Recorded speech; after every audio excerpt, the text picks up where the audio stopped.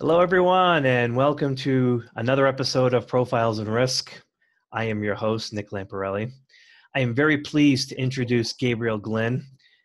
Gabriel is the co founder and CEO of MakuSafe. Make You Safe is developing wearable technology paired with a powerful data analytics system for a labor worker for labor worker industries like manufacturing, agricultural, logistics, and more. Their products focus on worker safety and productivity through the real time measurement of workplace conditions and hazards. Gabriel is also the founder and host of Advanced Manufacturing Podcast. Ironic that we're here. We're going to talk about that, right. uh, which is the source for everything new and exciting in manufacturing. Gabriel, good morning. Hey, good morning. Thanks for having me on. I appreciate it. No, I, I love it. We were we were chatting before uh, we hit the record button, uh, the name of the company is MakuSafe, M A K U S A F E. And you said that that is actually a play on words. Describe. Yeah. Yeah, so I, I, wish I could take credit, but it's certainly somebody smarter than me that helped come up with this. But please, Maku, please tell me it wasn't a marketing consultant. No, no, it's actually uh, one of the guys that helped kind of kick things off for our company. Good, um, good. So uh, Maku, M A K U, is Hawaiian for risk, and our whole goal is to reduce risk uh, inside facilities to reduce risk. And so we kind of put a play on the words, put a line over the A. We pronounced it, uh, pronounce it MakuSafe, um, but the actual corporation is MakuSafe Corporation. Yeah. Oh, it's beautiful. Uh, I I love that. I love uh, play on words. We tried to do the same thing with uh, with my MGA. Um, you you briefly touched on it. Why don't you give an elevator pitch um, for Safe? What is MakuSafe in your in your own words? Yeah, I guess um, in the in the industry buzzwords, right? It's, a, it's an enterprise risk management system.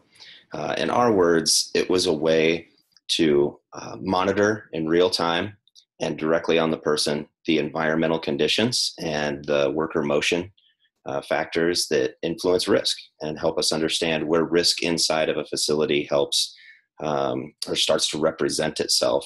And then we use tools to identify that. And the whole goal is you know, if you kind of think about it like a forecast, like a weather forecast, right? With the right amount of data, we can start to predict when and where weather is going to change, where risk in the weather is going to represent itself. And uh, we believe that we can do the same thing using the right amount of data um, in a facility setting. Be able to monitor all of the conditions that are happening, understand at what confluence of those conditions does risk represent itself, and then start to be more proactive in the way that we uh, approach risk mitigation how does that work? So um, is it uh, a bunch of people just wearing Fitbits? I'm, I'm, I, I know it's a little bit more elaborate than that. Can you go into what it takes to monitor workers in these kinds of environments? Yeah, I think maybe if I step back and kind of give the context of really how it came about, sure. I think that's actually going to um, going to help kind of paint a picture of why we're tracking the things that we're tracking. Uh, we may actually touch on a couple of things uh, as I kind of give this little backstory, and I'm more than happy to jump back and talk about different things. But it really started um, with the sale of my software company about uh, three and a half years ago, about 2015. Uh, I had a software company here in Iowa, a small shop. We had about 15 employees we did a lot of um, manufacturing software stuff for the manufacturing industry. So I spent a lot of time around manufacturing. I mean, even going back to my childhood, uh, my father was a machinist for over 20 years.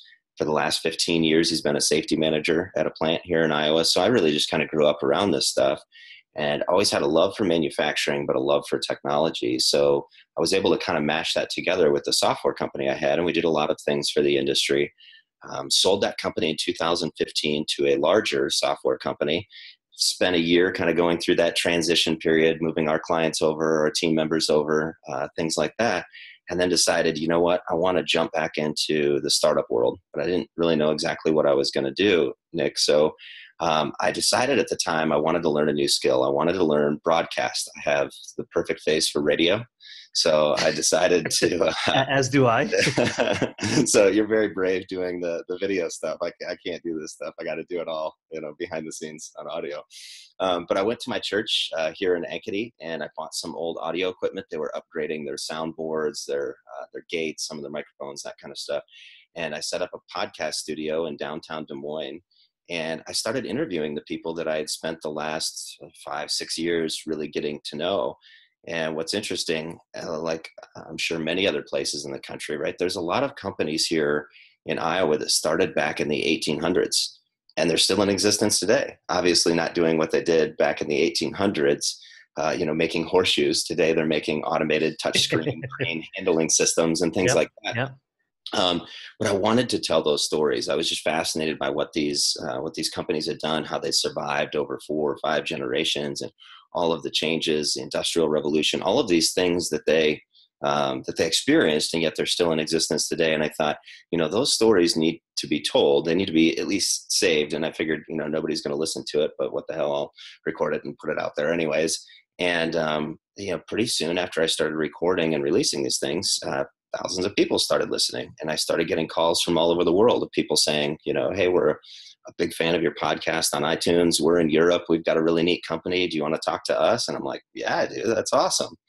Um, and it really just kind of evolved to uh, this opportunity to to recording and sharing uh, these stories. In fact, I even got a chance uh, about a year and a half ago uh, to go visit a handful of GE facilities. They took me on a on a flight around the country. We went to the robotics facility in Detroit, their jet engine facility in Lafayette, uh, their locomotive facility in Pennsylvania. Just a really cool tour and experience, all because of this this hobby podcast. So uh, keep doing what you're doing. You never know uh, where you might. Wait, you're you're. I, I might get like another tour of Lloyd's. They'll they'll they'll yeah. fly me to London or Singapore. I love it. Abs- Sign me up. Let's do it. Yeah, absolutely. No, it's it's opened so many doors. It's been incredible.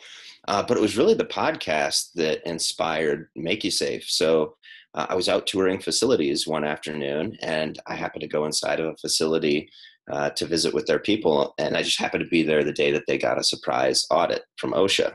Um, so they came in and they said, you know, one of your employees reported hearing loss.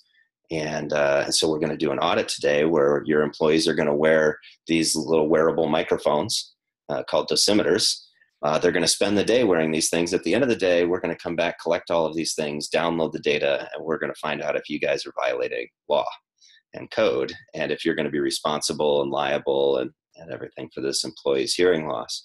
Um, which the underlying tragedy of this whole thing is this person's experiencing hearing loss, right? And, and so they're trying to get to the bottom of it. And so I just started asking questions. I, you know, how how do you guys monitor environmental conditions? What things are governed by laws? Um, what kind of compliance and regulation do you have to deal with? And uh, what's your reporting process like? And really, uh, what I started to get was this picture of, of how this particular company um, dealt with the environmental conditions and the things that, that we know impact a worker's you know, health, their safety, uh, their productivity, and their job satisfaction. And so, armed with that experience, I went and I started calling all of these other companies that I had interviewed and talking to their safety people. And I heard the same story mm-hmm. over and over again. You know, hey, we, we pay a company thousands of dollars. They come in once a year. They test for this kind of stuff. We get a heat map. You know, it tells us where the bad spots are in the facility. They go away. Um, we assume it'll be the same the other 364 days. Yeah. Um, and then when an incident, you know, happens, um, then, we, get investigated or we do our own internal investigation. We try to get to the bottom of it, but it requires the incidents to happen for them to identify where the changes sure. happen. Sure. And so it was really that um, that experience that inspired me to to want to create something. Well, really, we wanted to solve two problems. One, I said we need to be constantly monitoring these conditions. Um, it needs to be something that's happening in real time. We need to understand when the conditions are starting to become unfavorable uh, for the employee, when risk is starting to represent itself, when they're getting close to a violating level. Um, and I wanted to do it from directly on the person because I knew from my experience that, you know, being in these factories, the environment can change in a matter of a few feet, depending on what side of a machine you're standing on or what areas of the facility you take paths through um, to do your work all of those things can change you know the environment and the environment's constantly in flux right so having a wall mounted sensor 100 yards away for understanding when your team needs to be on heat protocol and it says it's you know 89 degrees and just fine but where the, these five workers are it's 110 degrees because they're right around these machines that are producing a lot of heat. That represents risk to these people right? It represents risk to the company. The likelihood of fatigue from that heat and the resulting accident that could happen from that fatigue is high right? That's why they have heat protocol. So you're not going to get that from a wall mounted sensor. You need to do that from on the individual. And so that was when I reached out to my co-founder, uh, Mark Frederick, and he was at that time he was at IBM in their uh, Internet of Things and cloud computing department. And I presented uh, the challenge to him, and I said, you know, here's here's what I want to do, but more importantly, here's why I wanted to do it. Um, through research during that time where I was kind of exploring this technology, I did some research and I found out that more than a thousand people a day die in work accidents on this planet. We had 56 here in Iowa last year, right? So it's a very real problem right here close to home. But just the thought of that many people not going home to their family at the end of the day, and I understand we're never going to eliminate risk. You know, we're never going to be able to send everybody home. You know, we're doing a variety of things. Automation is helping with that. You know, safety uh, procedures are helping with that. There's a lot of things we're doing, but I felt like if we could start forecasting and predicting risk and being proactive in the way that we uh, approach that risk, we have the opportunity to significantly improve that number. And so that was our mission. That's what really inspired us to to create the product. Uh, this is this is a this is a perfect discussion because I think for those that are listening that have the entrepreneurial bug, let let's go into something like that. You you clearly stated the pro you saw the problem you confirmed the problem you had an idea of what the potential solution is but you can't boil the ocean right? You can't so you, like you said you're not, you're not going to be able to eliminate risk for everybody. So uh, what what was the low hanging fruit for you in terms of um, getting getting the the biggest impact for the you know the small amount of resources you were probably applying to the problem. Which, which industries or which type of workers were you looking at saying if we start here that's probably where we can have the biggest impact. This is probably where we can you know um, get basically get customers get get someone to buy into this because this is a, a really big problem. What did you target first yeah so there's actually i think two parts to that. I think one is like why do we pick the technology that we picked right? Um, and then two is like well, why the industries that we picked? Well the industries i think was the easy part because i had such a passion for manufacturing. There's over 6000 manufacturing companies right here in my state of iowa. Um, it's a huge industry. I have a great relationship and reputation in that industry not only with the podcast but being a part of the iowa association of business and industry which was formerly the iowa manufacturers association um, I run a summer camp for kids on manufacturing at a manufacturing plant here in central Iowa. Um, so just had a lot of ties to that industry. And it's a high risk industry. Um, there's, there's a lot of opportunity for, uh, for accidents and, and, incidents to happen. So that, that was an easy one. Another one is logistics facilities. Um, you know, being at the confluence of two of the largest interstates uh, in North America, right? Interstate 35 and Interstate 80 intersect right here in central Iowa. Um, so we have a lot of logistics, trucking facilities, shipping, receiving facilities. Um, and then the third is uh, commercial agriculture. So, um, you know, hog confinements and indoor commercial ag facilities. And the reason why we, we also pick those three is uh, they have similar environments. Um, you have workers that are inside of a fixed workplace, right? They're inside of walls of a building. Um, the environmental conditions are going to be a little bit more stable, a little bit more um, predictable based on patterns. Um, and the technology that we wanted to use was really going to target the things that those indoor workers are going to be exposed to. Um, and the things that are governed by OSHA uh, rules, regulations, things like lighting, right?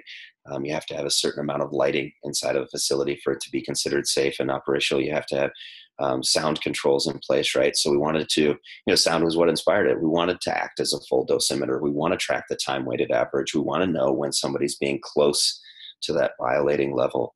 Uh, air quality is another thing, um, right? Air quality can change dramatically throughout a shift, throughout a factory. Um, you know, machines, oil mist, exhaust, um, trucks, uh, fork trucks, all of those kinds of things impact air quality um, and temperature, right? T- temperature is a big one, uh, and I think often overlooked. Temperature and humidity specifically together, right? Um, um, those two factors can lead to a significant amount of worker fatigue. Uh, so here in Iowa, we get hot, humid, you know, summer months, and uh, that can lead to a, a lot of potential risk. So a variety of factors like that that we wanted to focus on. And Nick, we also wanted to focus on um, we wanted to focus on the factors that look outward from the worker, right? Having grown up around the blue collar industry and spent so much time with workers, you know, one of the biggest concerns that we had was, you know, are employees going to embrace this, or are they going to be like, well, I'm not going to let you put a, a tracker on me? Um, and we said, well, let's not make it about tracking that worker. Let's not make it about uh, are they going to the bathroom for too long or going to, on smoke breaks too often? Or are they working fast enough when everybody else is working faster than them? Are they being as fast as they can be? So let's let's make it about what's what's going on in the environment around these workers um, that that can be impacting you know their health safety productivity uh, job satisfaction happiness what's going on in that environment. Let's track human motion. Let's understand when they're tripping over things or slipping because the floor's got condensation. Um, if somebody falls down you know if they don't actually get hurt uh, how often do they actually take time to report that? Um, and, and lastly we said we want to automate and streamline near miss reporting because all of our research and all of our experience said that near miss reporting is the number one way to re- to prevent accidents right? The near misses are the almost accidents. So something that happened that really could have been an accident but really wasn't an accident. And there's a full uh, paper form that you're supposed to fill out on that um, where it happened what was going on who was involved. Do they do that? And, no. I, I would i bet a lot of near misses would they just be like well nothing happened. I don't have time to fill out a fill out paperwork. You nailed it. That's the number one reason that employees gave us and gave OSHA and the research as to why they don't fill these things out and why 90% of them go unreported is look, I'm not going to stop my work, spend yeah. 15 minutes filling out a paper form on an accident that didn't happen when I'm told I have to make 100 widgets by the end of my shift. You know, it's just not going to happen. But, but of course, it's incredibly valuable data insanely valuable, right? And so we said, well, if our device can automatically detect these things, right? So somebody trips over something, but they don't report it because they never fell and got hurt, right? Um, 11 more people are going to trip over whatever that is that they tripped over. And maybe person number 12 is the one who actually falls and breaks their wrist. And now you've got a $35,000 loss claim on your hand. You've got somebody out of work for six months. Um, and you had all of these leading indicators to tell you this was going to happen right? And so we said we want to we want to automate that whole process. Uh, we also want to arm the employees with a tool where they can simply just push a button on the device, talk into it. It knows who they are, where they are, what they said happened in the environment, what was going on in the environment when it happened, what they said happened with the incident, and automatically pre-fill that near miss report form okay, for them. So, so, so what, you're, what, you're, saying is um, an employee could be walking out on the manufacturing floor uh, you you mentioned condensation.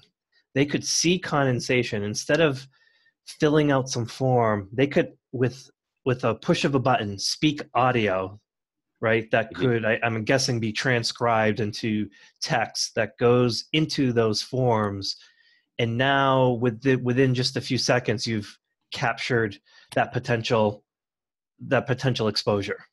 Uh, yeah, that's exactly right. And you know, in the case of condensation, for example, uh, maybe maybe they don't notice it, right? But they go into the area and they slip a little bit on the floor. Uh, they don't, they're not going to take the time to report that, you know. But the device picked that up. It knows that it slipped. It knows that it's 68% humidity. It knows that it's 91 degrees. It knows that it's in the shipping and receiving area of the department. As we gather more data, we use machine learning to process the data and identify what we call high impact trends and those high impact trends are what represents the most amount of risk in that facility.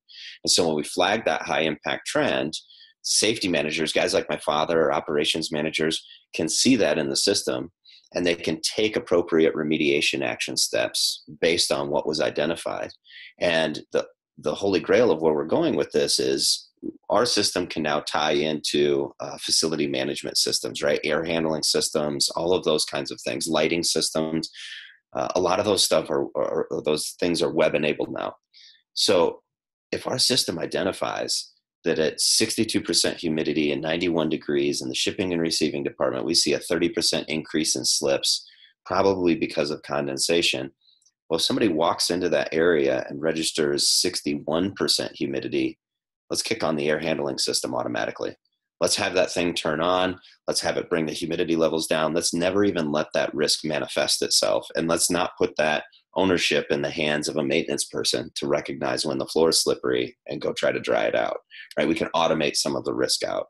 Uh, so ultimately, that's what we're trying to get with some of these things in the facility. Yeah. So uh, for for particular manufacturing uh, worker, how many sensors are they wearing, and uh, is it a special uniform that they have to put on, or is it is it like just attached to their their general attire? yeah, so this is where I'm on video. I should have actually had one of my wearable devices to show. But I, am I'm, I'm picturing like uh, the Intel white suits in the in the semiconductor yeah. facilities. or if you've seen uh, the Black Panther, right? Like one of those exo suits. No, yeah, uh, it, it's uh, it's actually way more simple than that. So we knew from our experience in facilities, you can't have you know, hand and wrist worn things. In fact, a lot of the places that I go to, you know, I go in to do a tour, they take this off, they take my ring, they put it in a baggie, they take my cell phone, they put it in a baggie, and it goes in security. You explain uh, why? Uh, risk, right? So a couple of reasons. One, they don't want these things getting caught on a machine, right? They don't want their, you know, workers getting their hand cut off because their their Apple Watch get, gets caught on a press brake, right? Um, so that's that's a big part of the hand and wrist worn stuff.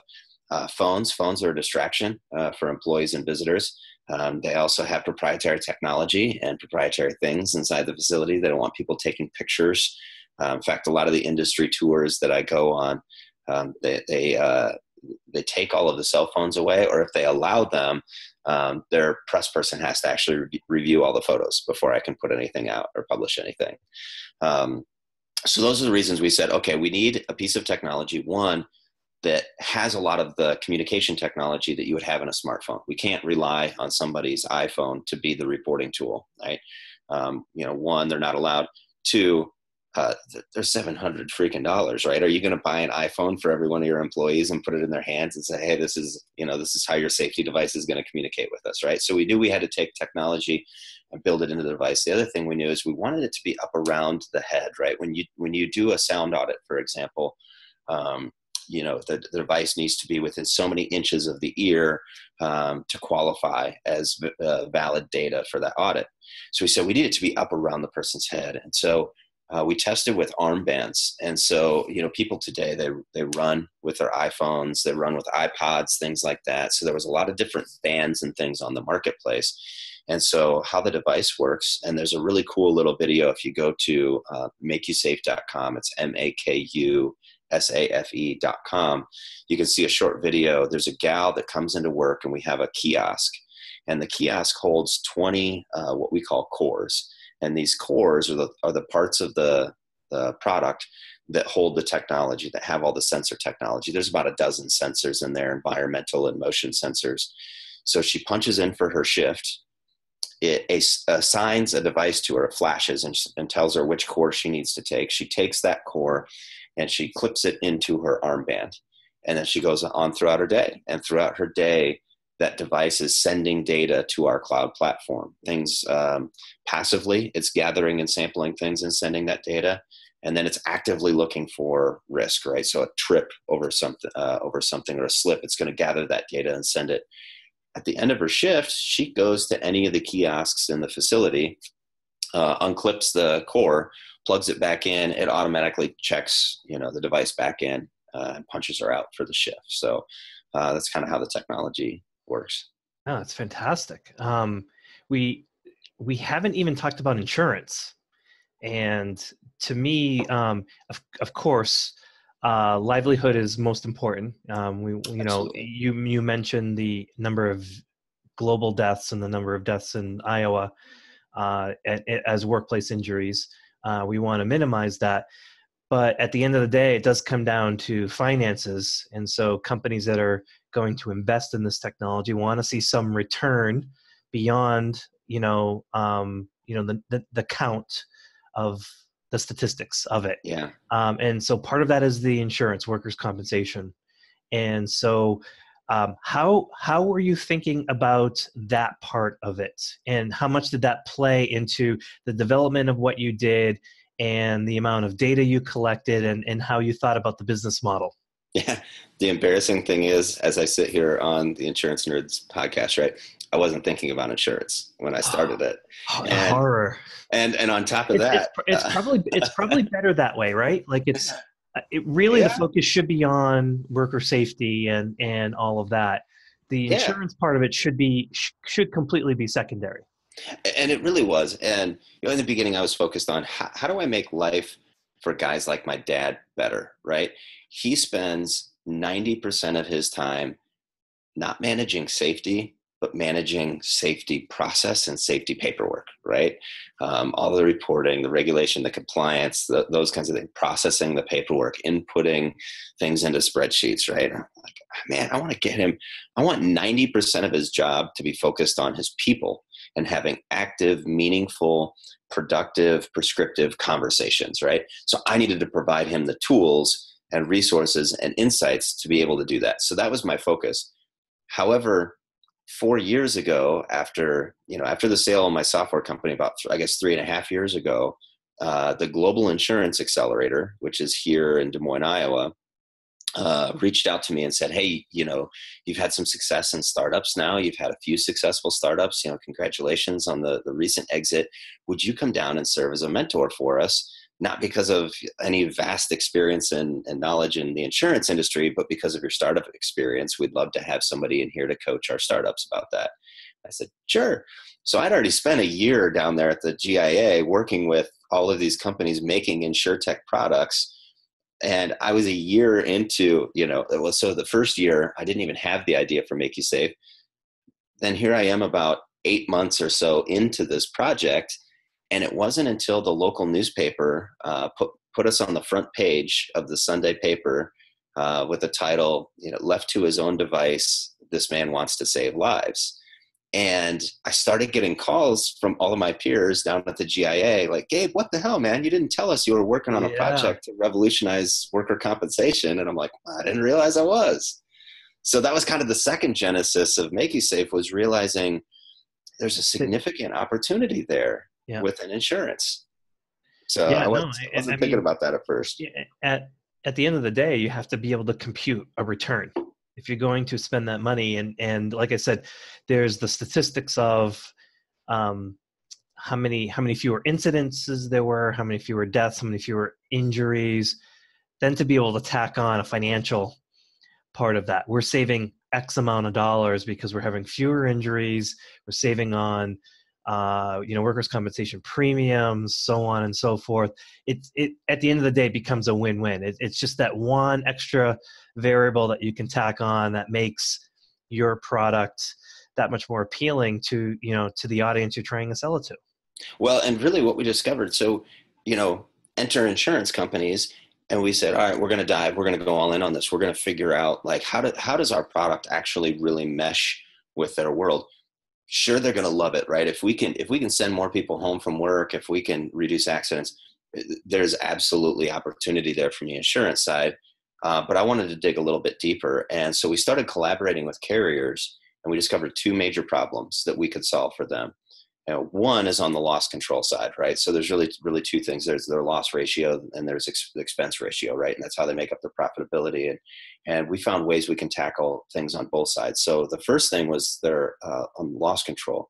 But these carriers have a ton of resources. They have ergonomists, they have industrial hygienists, they've got tools, they've got trainings, they've got equipment, they've got safety trainers. They have all of this stuff that they can provide to the companies they insure to help reduce the risk of accidents in the facility.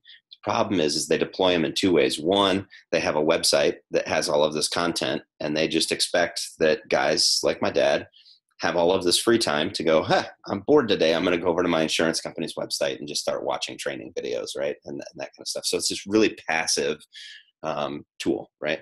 Um, the other way they deploy them is they go, this company's had five incidents in the last six months. We're sending an ergonomist out. We're sending an IH out. We're going to go out with some tools. We're going to start testing the facility, right?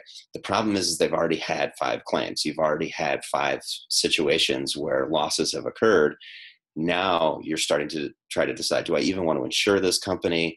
The the time when you come out is there's a lot of friction, right? It's not a good relationship at that point. It's not positive. They're not there to give them a thumbs up, right? They're there to figure out what, what's going on. So that was problem number one is we showed them like with our data, we identify when the risk is starting to present itself. And our platform can act as a delivery tool for your resources. So I mentioned the high impact trends, right? So we identify that um, maybe there's an air quality issue in one part of their facility. TVOCs are starting to to creep up, right? What's TVOC? Uh, total volatile organic compounds, right? So stinky, stinky stuff in the air, right? There, there's something. It doesn't tell us exactly what it is. It just tells us there's something going on um, in this area, and it's out of the norm, right? We're using machine learning to understand. Um, you know, when, when are things starting to trend in a direction that's it's unfavorable or different, right? So it's now flagged as a high impact trend. This has a, a high potential. We can drill in on that. We can see who's involved, where it's happening in the facility, why it was flagged as a high impact trend. You know, a lot of information around that trend. But then we also said, let's offer them a series of remediation actions that they can take, guys like my father can take to help remediate that risk. It's not enough just to tell them you've got a problem. Here's how you solve it, right? And some of those actions can be, you know, click here and your insurance carrier is going to send an industrial hygienist out. They're going to bring a piece of equipment with them. They're going to do a three day test and they're going to find out what's going on in the air that's actually the problem, right? Um, it's something that our device can't actually do. You need that long exposure in a set area to determine what that is. The insurance company has the tools, they have the resources, they have the training to do that test but as an insured, you probably don't know that that resource is available unless you've had a problem and you've had lots of claims. So why not click here, have that tool delivered to your facility, figure out what's going on, and have your insurance company be a partner in helping you resolve that. So that was problem number one. Problem number two on the insurance side of things was they don't build quality relationships with their customers on the work comp side. They talk to their customers at underwriting and they talk to their customers at claims we wanted to make them an active part of building a mm-hmm. safety culture in the in the companies that they insure they have the tools to do it. They have the training. They have the knowledge the resources. And quite frankly the companies that that they insure have the desire to especially those companies that are smaller this the 250 or less person companies where they don't have a dedicated safety person. They have an hr manager who also happens to be in charge of safety, who has to do all the compliance, who has to do all the reporting, who has to, you know, take down all of the incidents, has doesn't have the training, you know, doesn't have the resources. So why not arm her or him with the tools and resources that you have as an insurance carrier that are ultimately going to benefit you anyways. So we said we want to build that relationship and we want to make a platform that becomes a collaboration and communication tool to help bridge that gap between the carrier and the companies that they insure and that's going to improve expenses right now because your your safety people in house there they don't have to go out and only touch two people or three people and travel to a facility and do an investigation to find out what kind of resources might we then bring back out to help you know with them they can look at a whole book of business. They can see what risk is being represented, who's actively taking steps. If anybody's presented a question to them, if anybody's looking for specific resources, they can see all of that stuff right there. And they can be more effective and efficient in the way that they use their time. So there's there's ways we can impact it on both sides. How has the response been from the insurance ecosystem? And uh, not just carriers, like um, are, are, you um, I, I, would guess brokers would be interested in this as well. I mean, it's their customers at the end of the day. Um, how has the response been? No, you're absolutely right. Um, you know, for the last probably eight months, we've really been kind of embedded in this um, in this world. And one, we get a ton of inbound requests now. In the early days, um, whenever I wanted to go talk to anybody, it was always like you know climbing up the food chain and trying to get a hold of the right people. Um, we were in Property Casualty 360 recently. Um, our phone and email inbox blew up. Work Comp Central, um, podcasts like this. You know, the, the, more that we've been out there in the world, the more that people are starting to contact us. And so, just uh, here a few weeks ago, Plug and Play out in California. Are you, are you familiar with Plug and Play? We were part. Of, we were one of the cohorts last year. Okay. Yep. yep. So very. Yep so we just got invited to come pitch um, for their their cohort competition right here a few weeks ago, and we were selected by the carriers uh, for cohort five. Yeah. So we're now actively participating. Congratulations! Thank you very much. Yeah, that's fantastic. Uh, and plug and play. So I think that is just an example of how the folks in the industry are saying, you know this is something that we know we need. Now i will say that i think the biggest challenge with something like what we're doing is a lot of the carriers don't have the resources and infrastructure in place to do much with our product right now right? They don't they don't know how to get it in the hands of their customers. Um, they don't know how to use the data that we can provide them right? So even if a carrier wants to interact with us and sign an NDA and get access to a, a pile of data that we have from pilots that we've done at facilities where they've said, yes, you can scrape our information off of the data, but give it to people so they can do things with it, right? Um, a lot of carriers don't have data science teams or actuarial teams that can consume that data and do anything with it, right? Um, so right now, it's a lot of conjecture on both sides of just how much impact is this going to have and what kind of return is it going to have for the carrier yeah no i i would so i've been on a data and analytics team and i that's a that's a huge pro, uh, that's a very um, understated problem in the in the insurance ecosystem is you know we're now being swamped and bombarded with um, iot data but just even i would say even just web data you know mm-hmm. being able open source data that you can pull out and the industry for 100 plus years has been very actuarial driven. So they've priced moving forward by looking in the rearview mirror.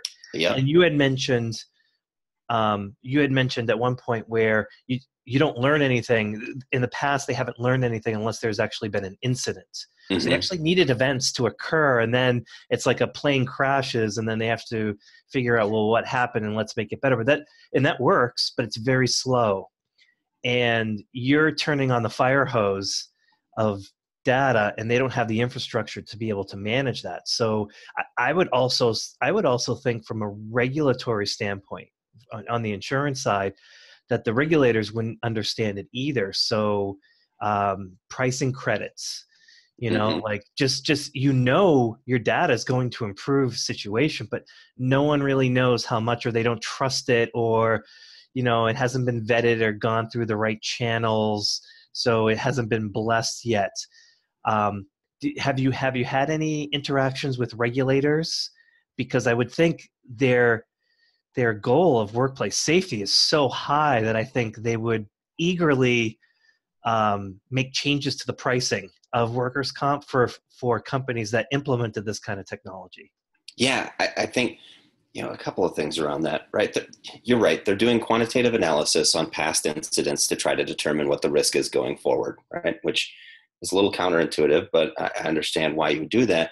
And then you look at like all right now we have all of this forecasting data this predictive data um, but we don't have any methods for for you know how we do quantitative uh, modeling behind what value this is.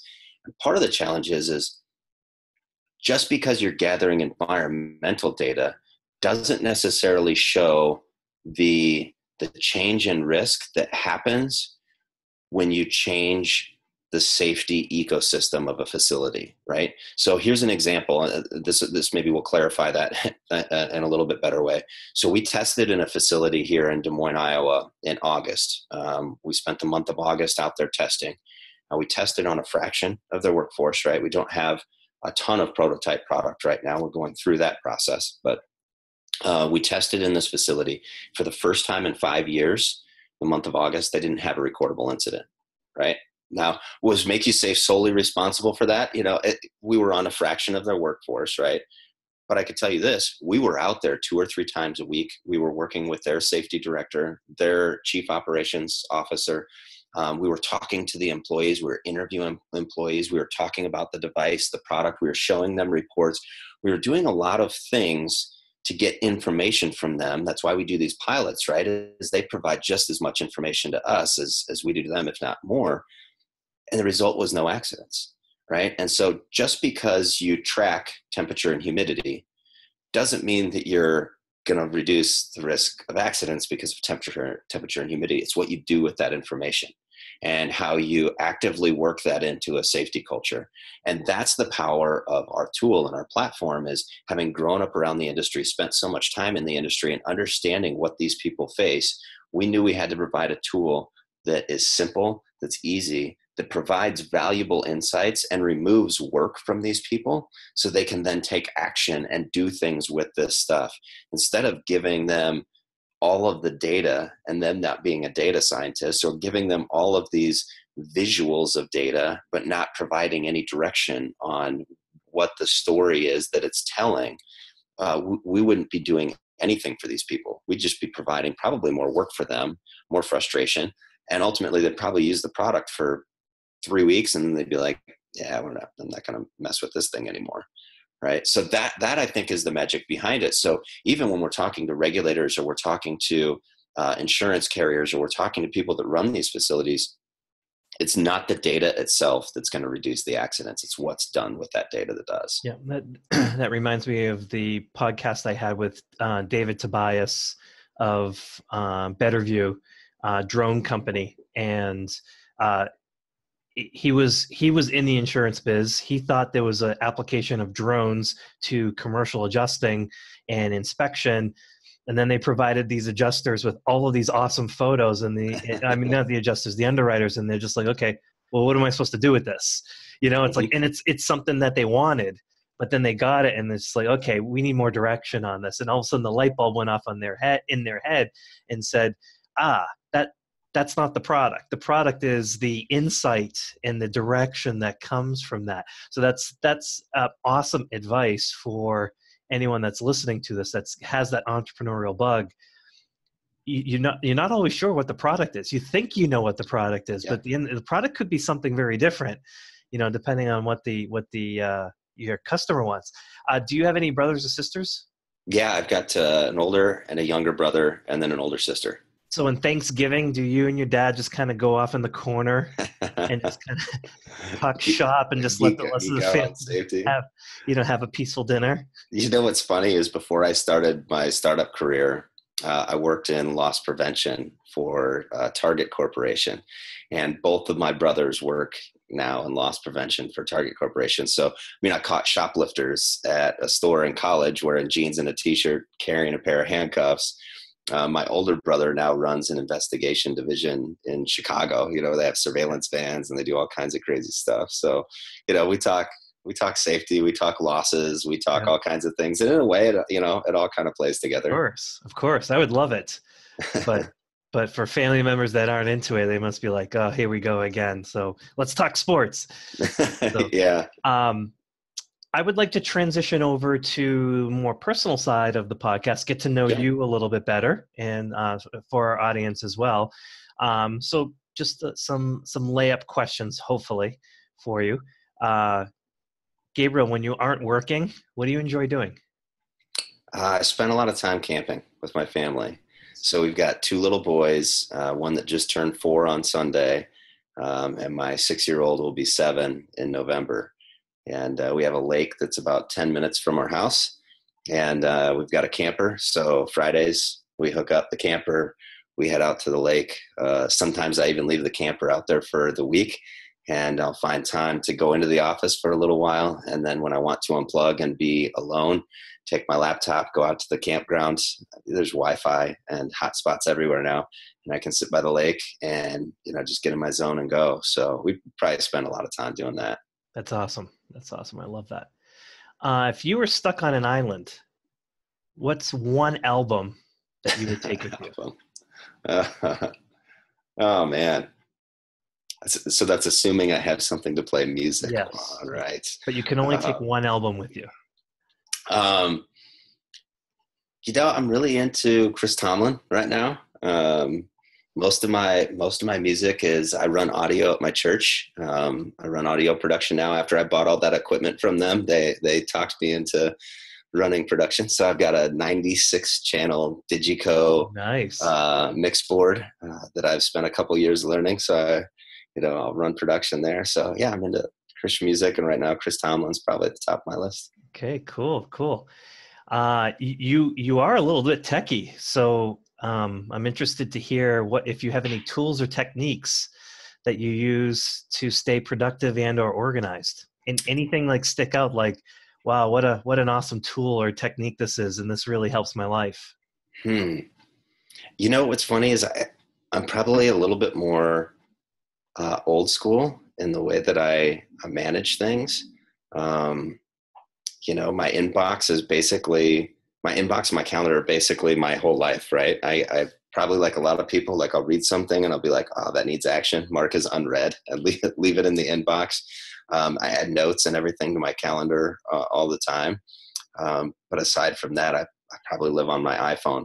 But I don't think there's anything really special or unique that um, that I use. At one point, I was really big into if this then that. Uh, if you remember that yes. application, it's still it's still pretty popular. But I used to um, have a lot of gadgets and things like that that would always use if this then that to, to do different things. But fair enough. You're, you're not alone. A, a, lot of guests are, are um, have either gone techie and then back to old school or just stayed old school.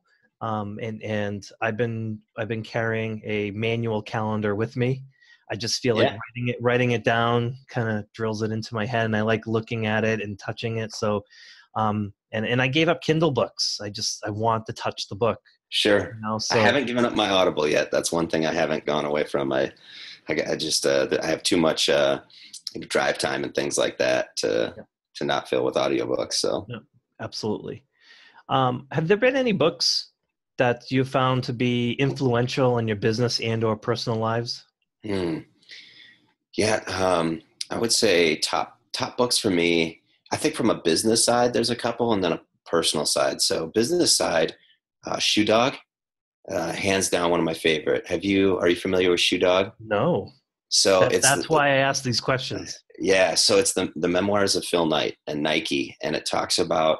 You know, I didn't realize this, but really Nike, uh, although they just celebrated right their their 30th anniversary, and say what you want about them, you know, politically and that kind of stuff. The, the story is fascinating. Really, how they got started. They actually really kind of got their start back in the 60s. Um, Tiger Shoe Company, and just the story of, of Phil Knight and how that company was built. I mean, and it's so well written. I, I laughed, you know, I cried. There was just there was so much emotion in the book. Mm. Um, in fact, I think um, I think it's Bill Gates who said it's in his top five books of all time, and that's that's how I latched onto it. So uh, that, and then I just finished. Um, I think it was like 25 or 27 hours of audio. Was uh, Steve Jobs, uh, Walter Isaacson, yeah. Uh, Steve Jobs. Uh, fa- fascinating look at um, the start of of Apple and um, Steve Jobs as a human being and as an individual, uh, just a very, very interesting person, interesting character. And there was a lot of things that I just really wasn't aware of about his. Um, you know, he's responsible for Pixar and you know all yeah. the movies that came out of that. I, I read that book on vacation one time. It was one of my favorite vacations because I just jumped in that book. And it just, must have been a long vacation because that was. Like... It took a whole it took a whole week to read that book, but that's pretty much all I did. It was so enjoyable, and you're right, like the dichotomy. Um, brilliant man, um, highly flawed. Yeah. Right? And that's what I'm. Uh, that's what like we we plant these people up on pedestals Mm-hmm. Uh, Warren Buffett's another one where we put these people up on pedestals, and they're they're they are a genius, but these are highly flawed people, just like the rest of us. We all are, mm-hmm. and no one is innocent. You know, when it comes to you know being flawed like that, and that's what I took away. It was like, man, this guy's such a prick. Like I couldn't I, I couldn't do what he does, you know, in lots of different ways. But I wouldn't want to. Like I, I really wouldn't want to ch- change places with him because I don't want that the flawed part of him, you know? Yeah. And so th- that's that's what I took away. It was an amazing book. Yeah, it's like, wonder, it's like, like, this thick. If yeah, it's it's it's huge, and you wonder, right? If he didn't have the success that he had, would he just be known as another a hole that yeah. was in business and Completely. you know failed because he was right? But because of the success, you know, the thing that he did was surround himself with brilliant people um, that could tolerate him um, so the, I, I, think on the business side, those are really the two books that I, I enjoy. There's you know a lot of self help books out there. I'm going through Grit right now by Angela Duckworth. That's an interesting book. Um, and then on the personal side, uh, I think two that were my favorite. Bonhoeffer. Um, Bonhoeffer is uh, it's a true story. It's about Dietrich Bonhoeffer. He was a priest in Germany. Um, that led the resistance movement against Hitler and was part of an assassin, a failed assassination attempt um, uh, against Hitler, and it's uh, it, it's just an unbelievable. That that there again, that's another that's a that's a thick one to go through. But it changed my perspective on Nazi Germany, on on the the war, on what happened, on Christianity. It, there was so many things about that book that were incredible, um, and just hearing his story, uh, super emotional there again.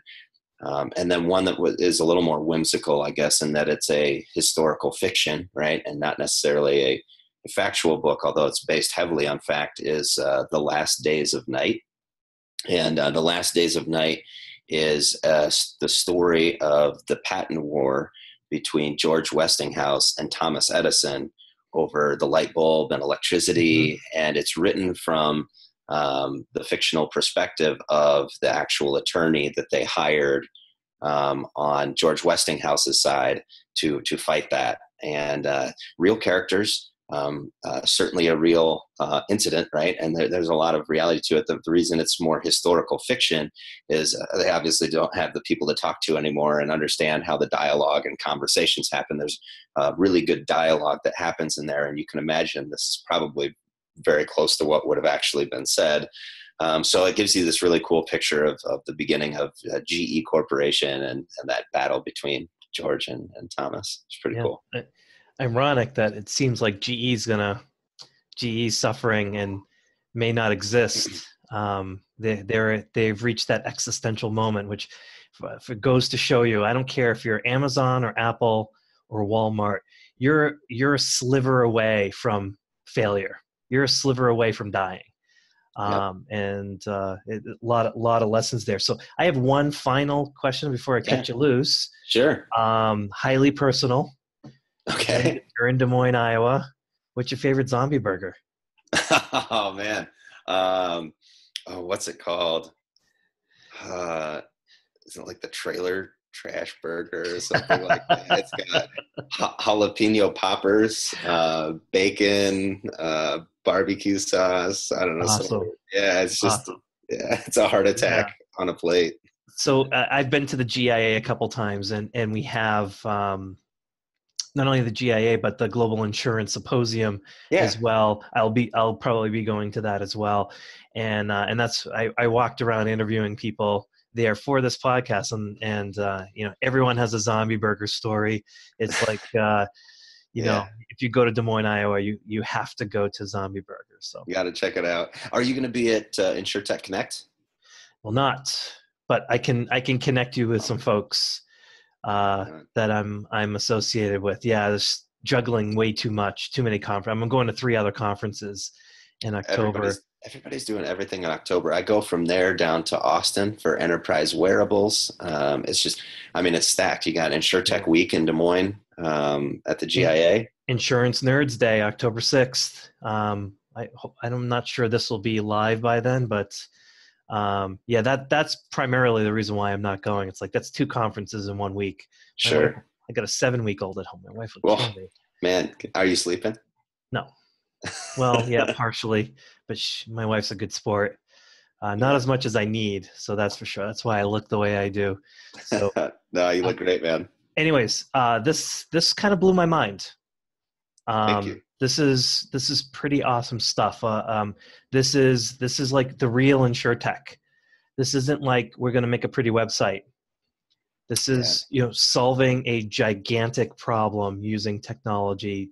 Um, this is where I was I'm hoping InsureTech evolves to, and you're already there. So hats off. Um, you know, be- best of luck going forward, and you're um, you're always welcome to come on this podcast or whatever. Like, I I would like to follow this because this is a big deal. Cool. Be happy to be on anytime. Thank you so much. I appreciate it. Thank you to the listeners for checking this out. And uh, anybody's welcome to reach out to us at, at MakuSafe. We'd be happy to talk to them. Yep. So my guest this week has been Gabriel Glynn of Maku MakuSafe. Makusafi. Makusafi. Is it Makusafi? No, it's MakuSafe. Uh, make you safe, but yeah. yeah make you safe. Is that what the Hawaiian is Maku? Yes. Okay. Yep. Gabriel Glynn, co-founder and CEO of MakuSafe. Thank you so much.